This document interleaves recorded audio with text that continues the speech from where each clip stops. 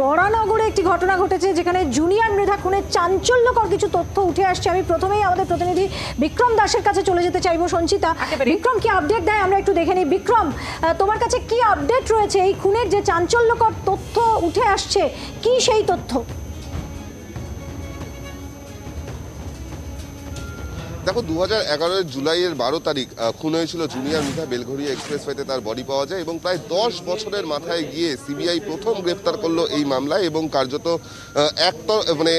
বলা যায় যে এই দশ বছরের সব থেকে বড় ডেভেলপমেন্ট তা হলো প্রিয়াঙ্কা চৌধুরী, এক ইন্ডাস্ট্রিয়ালিস্ট এক শিল্পপতি, তার পুত্রবধূ, তার প্রাক্তন পুত্রবধূকে গ্রেফতার করল সিবিআই এবং তাকে গতকাল দীর্ঘক্ষণ, প্রায় আট ঘণ্টা জিজ্ঞাসাবাদের পর গ্রেফতার করা হয়েছে এবং তারপরেও তাকে টানা জিজ্ঞাসাবাদ করা হয়েছে এবং সেই জিজ্ঞাসাবাদে কিন্তু চাঞ্চল্যকর কিছু তথ্য উঠে আসছে। সিবিআই তদন্ত করতে গিয়ে যেটা জানতে পারছে, যে কন্ট্রাক্ট কিলারদেরকে হায়ার করে খুন করা হয়েছিল জুনিয়র মৃধাকে, তারাই গুলি করে খুন করেছিল এমনটা সিবিআই জানতে পেরেছে তদন্ত করতে গিয়ে এবং তার সঙ্গে সঙ্গে এটাও সিবিআই জানতে পেরেছে যে শুধুমাত্র প্রিয়াঙ্কা চৌধুরী একা নয়, প্রিয়াঙ্কা চৌধুরীর সঙ্গে কিন্তু আরও বেশ কয়েকজন এই খুনের সঙ্গে জড়িত রয়েছেন যারা কিনা কনস্পিরেটর সেই কনস্পিরেটররা মিলেই কিন্তু কনস্পিরেটরদের যারা যারা সাইলেন্স বা যারা ভাড়াটে খুনি তাদেরকে হায়ার করে এবং তারপরেই কিন্তু এই খুনের ঘটনা ঘটে। আরও গুরুত্বপূর্ণ তথ্য যেটা জানা যায় যে কেন এই হত্যাকাণ্ডের ঘটনা মোটিভ কি? যেটা প্রিয়াঙ্কা গতকাল দীর্ঘক্ষণ জিজ্ঞাসাবাদের পর জানিয়েছে সিবিআইকে যে তার সঙ্গে একটা টানাপোড়েন চলছিল জুনিয়র মৃধার মূলত অভিনয় করাকে কেন্দ্র করে সে অভিনয় করতে চাইতো কিন্তু জুনিয়র মৃধা তাকে অভিনয় করতে দিচ্ছিল না এই নিয়ে একটা টানাপোড়েন চলছিল এবং সিবিআইয়ের কাছে যেটা সিবিআই সূত্রে যেটা দাবি যে অত্যন্ত গুরুত্বপূর্ণ তথ্য তারা পায়, প্রিয়াঙ্কার কল রেকর্ডস এবং সেই কল রেকর্ডসে দেখা যায় যে আড়াইশোটি ফোন কল সেই আড়াইশোটি ফোন কল খুনের দিনে করা হয় এবং আড়াইশোটি কলই কিন্তু এই মুহূর্তে সিবিআইয়ের কাছে সব থেকে গুরুত্বপূর্ণ। তার কারণ এই আড়াইশো কলের মধ্যে দুশোটি কল করা হয়েছিল বা কল এসছিল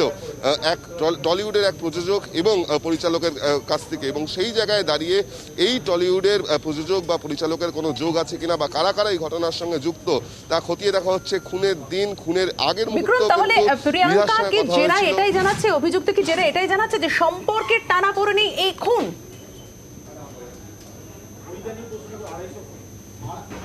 একেবারেই শুধুমাত্র সম্পর্কে টানাপোড়েন নয় প্রিয়াঙ্কা যেটা জানাচ্ছে যে সে অভিনয় করতে চাইছিল এবং অভিনয় নিয়ে তার একজন প্রযোজক এবং পরিচালক একাধিক প্রযোজক এবং পরিচালকের সঙ্গে কথাবার্তা চলছিল।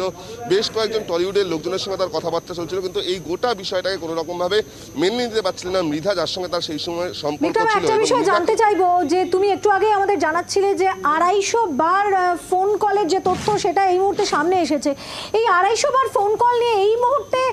কি ভাবছে পুলিশ? এবং পাশাপাশি তোমার কাছে জানতে চাইব যে কি কথাবার্তা তাদের মধ্যে হয়েছে, আড়াইশো বার যে কারণে তাদের ফোন আলাপ হয়েছে বা ফোনে কথা হয়েছে।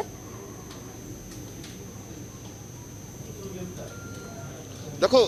ঘটনার দিন অর্থাৎ খুনের খুনের যে দিনকার, সেদিনকার প্রিয়াঙ্কা চৌধুরীর যে ফোনের কল রেকর্ড সেই কল রেকর্ডে কিন্তু আড়াইশোটি ফোন কলের রেকর্ড আড়াইটি, আড়াইশোটি ফোন কল সেটাই এই মুহূর্তে সিবিআইয়ের নজরে, কারণ এই আড়াইশো কলের মধ্যে দুশোটি কল করা হয়েছিল টলিউডের একজন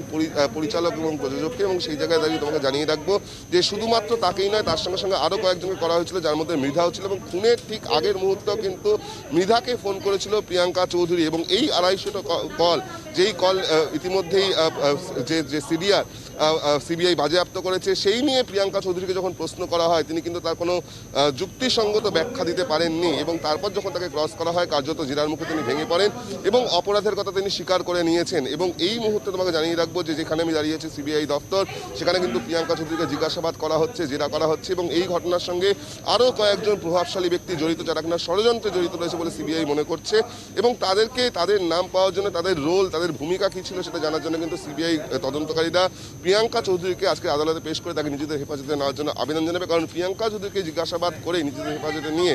এই সমস্ত ব্যক্তিদের নাম এবং ভূমিকা উঠে আসবে এবং কারা সেই কন্ট্রাক্ট কিলা যারা কিনা, যাদেরকে অ্যাসাইলেন্স হিসেবে হায়ার করা হয়েছিল সেটাও কিন্তু সিবিআই জানতে পারবে। সেই কারণেই প্রিয়াঙ্কা চৌধুরীকে আর কিছুক্ষণ বাদেই সিবিআই অফিস থেকে বার করা হবে তাকে আদালতে পেশ করা হবে যেখানে সিবিআই তাকে নিজেদের হেফাজতে নেওয়ার জন্য আবেদন জানাবে। জেনেছি অর্থাৎ সঞ্চিতা একটা বিষয় পরিষ্কার যে এই মুহূর্তে সিবিআই নিজেদের হেফাজতে পেতে চাইছে প্রিয়াঙ্কাকে তবে কিন্তু অনেকগুলো রহস্যের কিনারা করা সম্ভব হবে এই ঘটনার পিছনে এখনও কারা পর্যন্ত রয়েছেন? অনেকগুলো নামও কিন্তু জড়িয়ে যাচ্ছে শুধু প্রিয়াঙ্কা নয় এক্ষেত্রে অনেক নাম জড়িয়ে যাচ্ছে এবং গোটা বিষয়ের ঘটনার তদন্তে এই মুহূর্তে গোয়েন্দারা রয়েছেন।